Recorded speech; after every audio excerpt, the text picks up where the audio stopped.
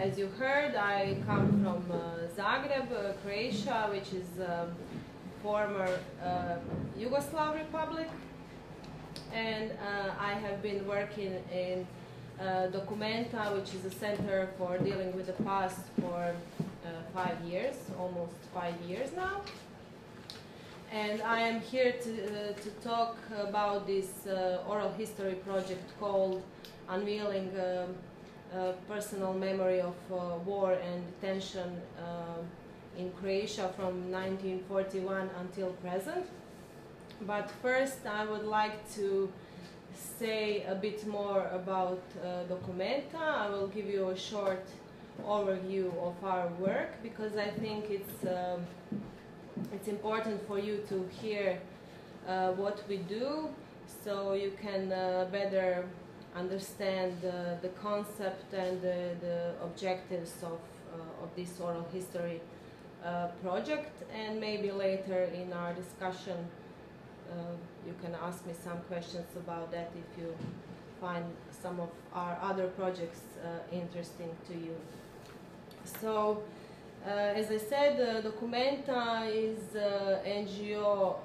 from Croatia which was established and uh, in 2004 in an attempt to uh, encourage uh,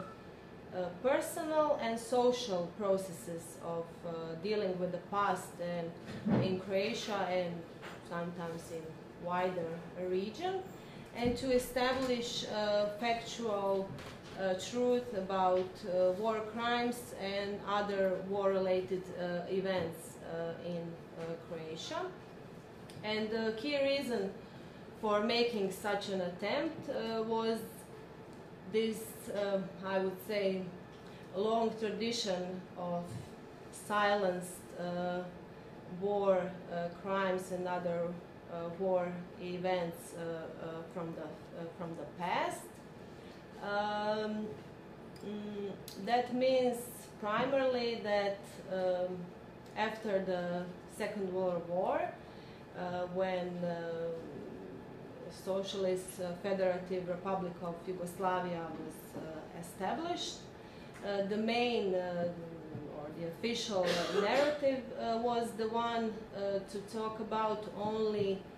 uh, partisans and uh, partisan uh, movement. Um,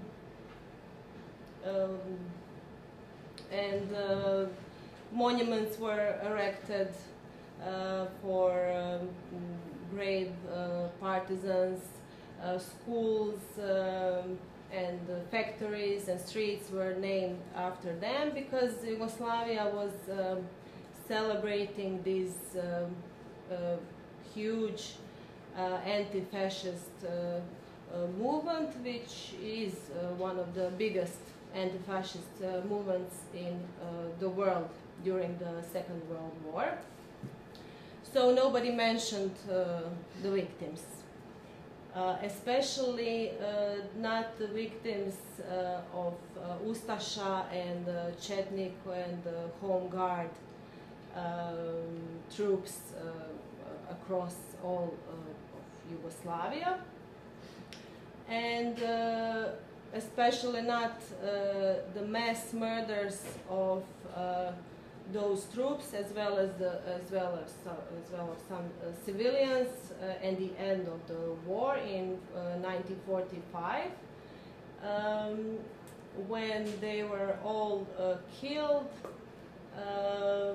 because of the crimes they committed in 1941 but their casualties have never been documented uh, by personal uh, identification. Uh, mm, uh, second, um, second group of crimes that were kept quiet during the Yugoslav period were crimes um, uh, in which uh, Yugoslav uh, government imprisoned um, many people in the island of Goli or Goli Otok in Croatia and those were mainly uh, citizens of uh, Yugoslavia who were uh, convicted of uh, taking Stalin's side after in 1948 Stalin and Tito uh, broke broke up their relationship after the Inform Bureau uh, resolution. And you have all these um, issues from Yugoslavia, uh, and then in the 90s uh, there are wars in Bosnia and Herzegovina and Croatia and Slovenia uh, again. So now we have uh, this tradition of silence about uh, crimes during those wars. Also, when it comes to Croatia, uh, that usually means that nobody talks about uh, Serbian victims uh, in Croatia. The main or the predominant narrative is about Croatian victims in, in Croatia, although there were many uh, Serbian victims, especially uh, in the end of the war, in 1995, uh, when with Operation Storm, um, the majority of occupied Croatian territories uh, were liberated by Croatian army and um, uh, some Serb civilians were killed. Uh, so I gave you a short overview of historical problems that we have and why Documenta is uh, doing what uh, we are doing. So uh, because of all that, uh, uh, since uh, its establishment, Documenta has been systematically contributing to development of social and individual processes of dealing with the past, mainly with different projects um, in which we are documenting, initiating public uh, dialogue, monitoring war crimes and so on. And uh, in order to achieve our goals, we are of course uh, cooperating with many other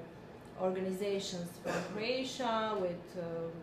non-governmental organizations, uh, uh, government institutions, local government institutions, uh, media, religious groups, and of course any other interested uh, individual. now I will tell you, um, I will highlight a few Documenta's most relevant projects.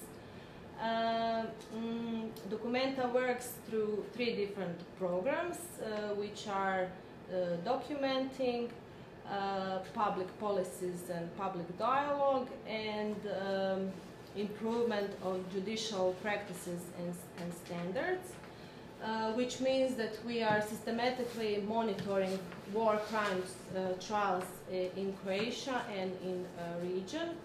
from 2004, uh, together with two other organizations from Croatia, Civic uh, Committee for Human Rights from Zagreb and Center for uh, Peace, Nonviolence and Human Rights from uh, Osijek. So uh, by joint forces we are monitoring uh, uh, war crimes trials in order to publish reports on those trials and advocate improvement and changes in judicial uh, system as well in the witness support uh, system in Croatia. We are also monitoring uh, the work of um, state attorney's office in Croatia and also uh, monitoring um, uh, proceedings for um, uh, um, how to say it, for um, uh, non-materials, uh, non-material uh, damages claims, which means that um, some people in Croatia are suing um, the state of Croatia for their non-material losses from the war. and in majority of cases uh, that means that those people are obligated to pay enormous uh, amounts of money uh, because uh, their claims in these proceedings uh, were, were uh, rejected. So we have a lot of, a lot of work to do with court system concerning war crimes in Croatia, and the main goal is to uh, assure the rule of law in Croatia when it comes to uh, war crime trials by improving the legal framework and um, increasing efficiency of the work of the courts, uh, uh as well as um, making uh, uh, um, the role of victims uh, in these processes better in the, the whole system. Mm. When it comes to programs of public dialogue and public policies, uh, we have projects concerning uh, teaching of history, reparations, uh, culture of memory projects, but the, main uh, project, uh, the biggest project, project I want to mention to you is um, Coalition for Establishment of, uh, it's a long name as Amy said, uh, Establishment Regional Commission for Truth Telling and uh, Truth Seeking uh, about war crimes. And in short, um, RECOM is uh, uh, an initiative uh, of a coalition of more than 1,800 NGOs from the region, individuals and associations of victims who advocate the, the establishment of uh, independent, uh, interstate or regional, as you wish, uh, um, official non-political uh, commission uh, with a mission to uh, collect data about war crimes that were committed in Yugoslavia and other uh, major violations of human uh, rights in the period from uh, 1991 until 2001 and um, of course, resolving the fate of uh, missing persons and locating their uh, mortal uh, remains. Uh, as you probably already know, this, uh, this initiative or this commission is modeled on uh, other truth and reconciliation commissions that we already have or had have had in, in the world, such as the one in, in South Africa, uh, Sierra Leone, uh, Canada, and so on. Mm, the, the idea about this commission uh, was, uh, or the coalition was, uh, was founded in 2008 in Pristina, in Kosovo, by three organizations from region. Documenta from Zagreb, uh, Humanitarian Law Center from Belgrade and uh, Center for uh, Documentation and Research from Sarajevo. Thank you. uh, I'm trying to translate it into English in my head. Uh, and uh, the whole idea behind uh, this was um, the, the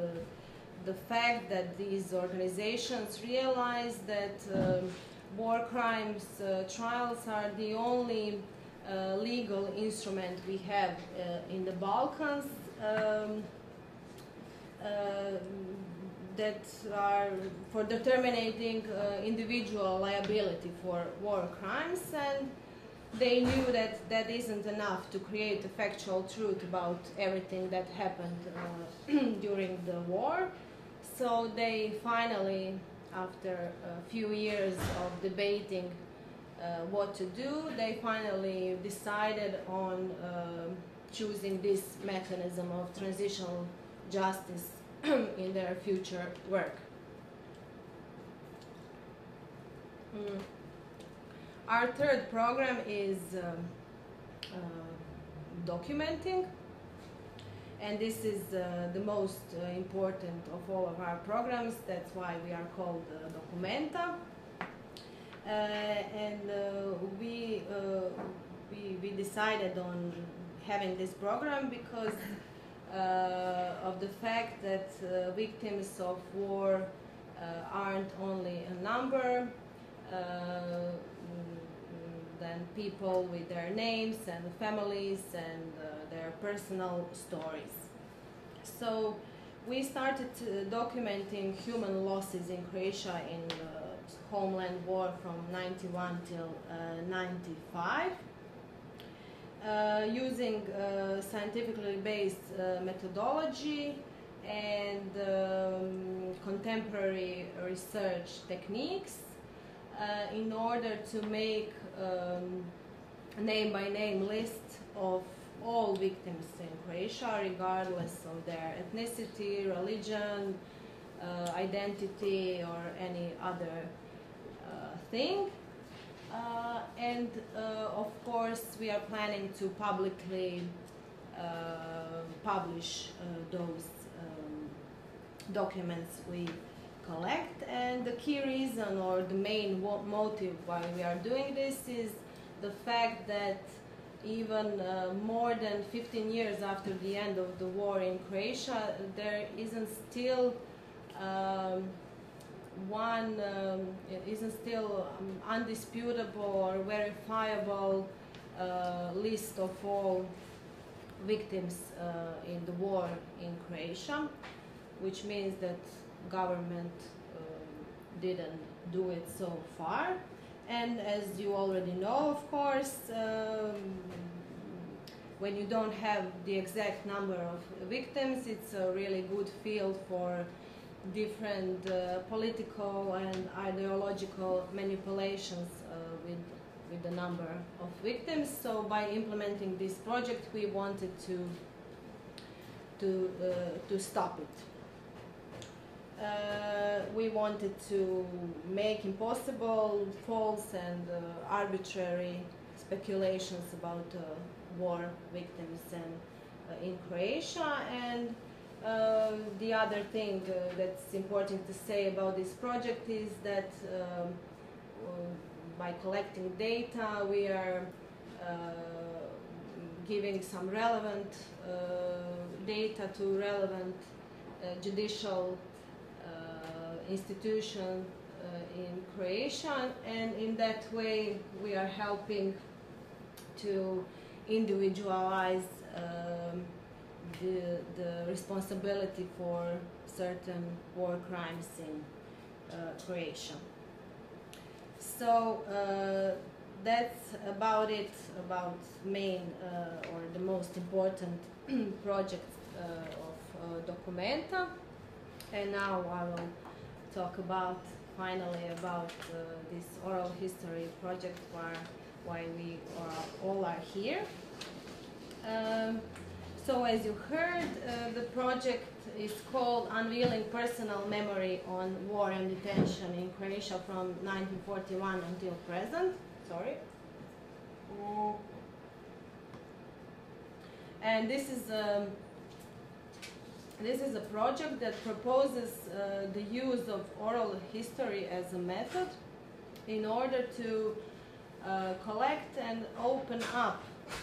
individual memories on past uh, traumatic uh, events uh, from different perspectives. Uh, the, the key reason for such an effort is the one that I mentioned before, and that is all these silenced war events from before, which have significantly influenced uh, all of our societies uh, of post-Yugoslav uh, countries and will certainly and necessarily reflect on future generations also. Uh, so therefore we want to affirm personal uh, memories of all interested witnesses and protagonists of uh, historical uh, events in uh, Croatia and preserve them in, from permanent loss. Um,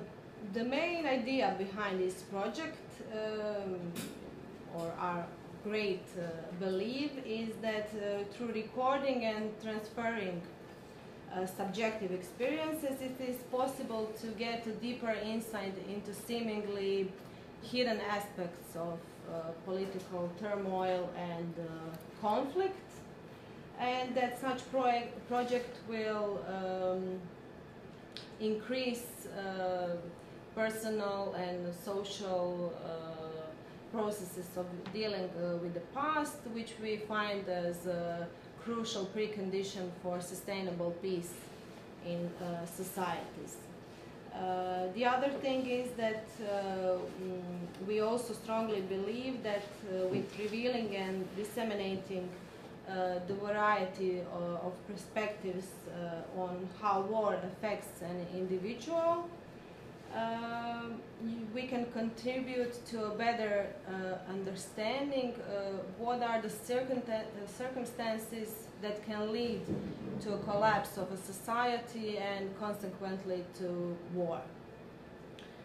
Uh, so in this project we are collecting, uh, recording video interviews uh, Uh, in Croatia.